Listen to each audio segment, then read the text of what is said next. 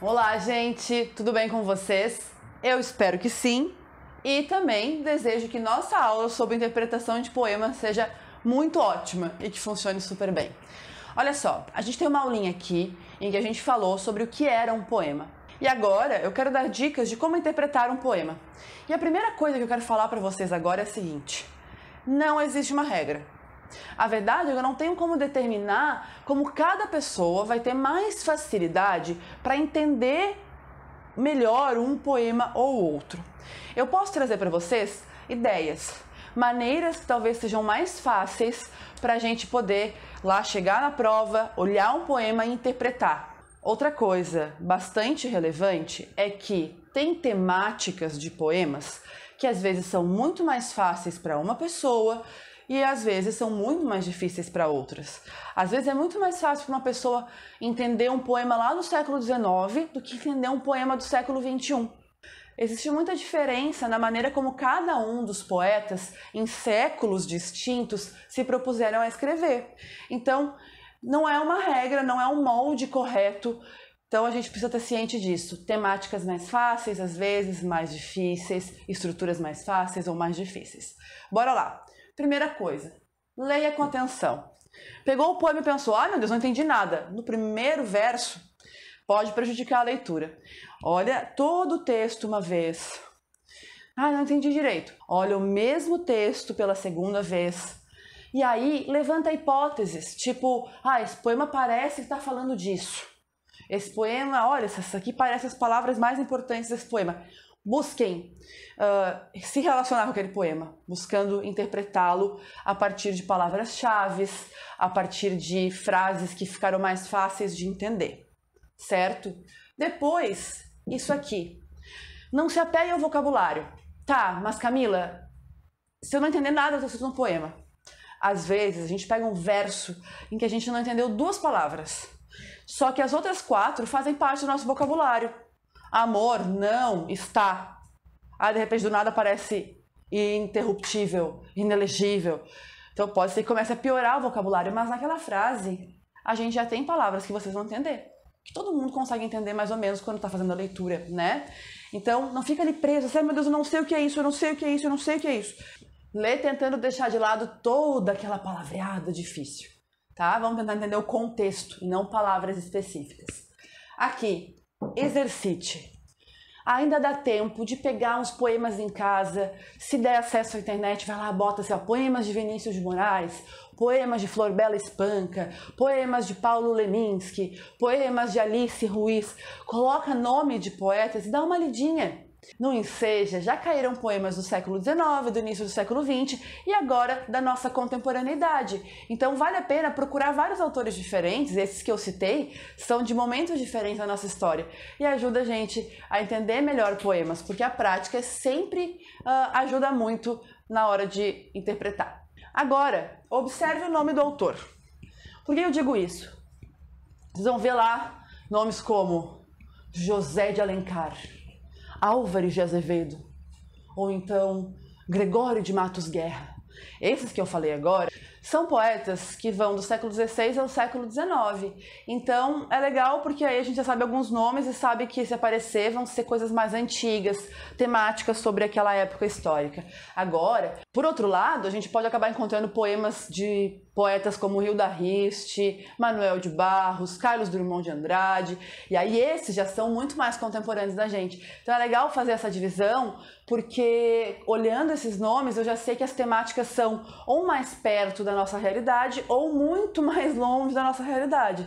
Porque tem poemas que vão abordar a realidade da Bahia do século XVI tem outros poemas que vão abordar a realidade da corte carioca do século XIX. Vai ter outros poemas que vão abordar a realidade de Minas Gerais do século XVIII, lá na época da Inconfidência Mineira.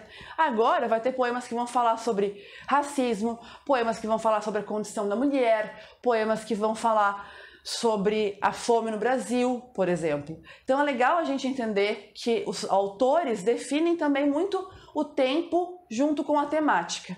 Agora eu vou mostrar para vocês um poema de um poeta chamado Vinícius de Moraes e que é um sonetinho. Vamos ver. Soneto do amor como um rio. Este infinito amor de um ano faz que é maior do que o tempo e do que tudo. Este amor é real e que, contudo, eu já não cria que existisse mais.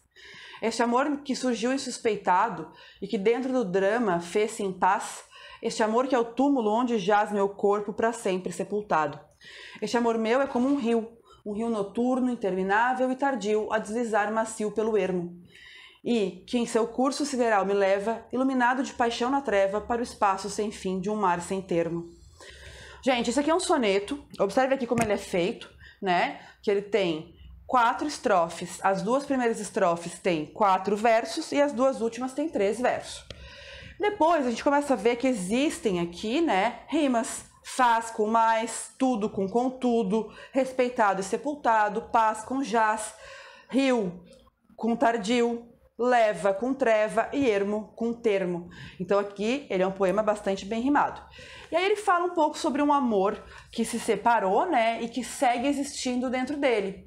A gente pode ver isso com coisas como esse amor que é real e que, contudo, eu já não cria que existisse mais. Então, quer dizer, está mostrando que essa pessoa achava que nem existia mais aquele amor. Depois fala assim: este amor que é o túmulo onde jaz meu corpo para sempre sepultado. Quer dizer, aqui é o corpo do, do eu lírico continua junto com o seu amor, né? Então percebam que existe aqui uma certa saudade, um afeto e uma promessa de amor para sempre. E agora eu vou fazer uma questãozinha com vocês sobre interpretação de poemas. Nós vamos fazer agora a questão 15 do Enseja de 2017 e é um poema de Carlos Drummond de Andrade. Ele é um autor que escreveu aí entre os anos 30 mais ou menos anos 70. Então fala de, das, da realidade que é um pouco mais próxima da maioria de nós. Vamos ler o poema então. Foi-se a Copa? Foi-se a Copa? Não faz mal. Adeus chutes e sistemas. A gente pode, afinal, cuidar de nossos problemas.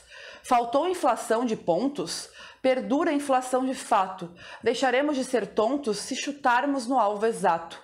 O povo, noutro torneio, havendo tenacidade, ganhará rijo e de cheio a Copa da Liberdade. Aqui a gente tem o poema que tem uma estrofe, só tem um parágrafo, e 12 versos, que são os números de linhas do poema. E ele é um poema que faz uma, uma ironia né, em relação à Copa. A ideia de que, olha, a Copa a gente perdeu, mas quem sabe a gente une toda essa força aí para mudar o que de fato é preciso. Né? Olha só esses trechos do poema. Ali diz assim: A gente pode, afinal, cuidar de nossos problemas. Faltou inflação de pontos, perdura a inflação de fato. Quer dizer, não tem, não inflou, né? Não deu tantos pontos, mas a inflação continua, perdura, tá? Outra. Deixaremos de ser tontos se chutarmos no alvo exato. O povo, no outro torneio, ganharia a Copa da Liberdade. Então, tá vendo que ele está colocando a questão uh, de uma crítica social brincando com a Copa do Mundo. Então, isso é irônico. Isso tem uma metáfora irônica. Vamos ver aqui a pergunta. O poema tematiza um acontecimento esportivo de grande repercussão nacional e se relaciona com seu momento histórico na medida em que o eu lírico. E aí, assim, o eu lírico, lembrem que o eu lírico é aquele que está narrando o poema. Ele está pegando a grande copa, falando do seu momento histórico. O seu momento histórico é qual? Aqui nesse momento a gente está falando da década de 50 e ele está fazendo essa crítica social. Vamos ver a resposta certa.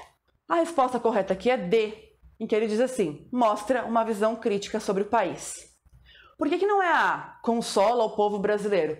Não está consolando nada, né? Ele está dizendo: vamos lá, gente, vamos fazer acontecer. Por que, que não é a B? Revela um espírito esportivo. Gente, não está falando de ganhar ou perder e ter que ter espírito esportivo para lidar com isso. Ele está usando o poema dele para falar sobre problemas sociais. Vamos próximo. Por que, que não é a C? exalta os aficionados pelo futebol. Gente, não, né? A gente nem tem como fazer esse tipo de afirmação, porque não aparece uh, nada sobre as pessoas que amam futebol. Certo? Fiquem bem, bons estudos e até mais!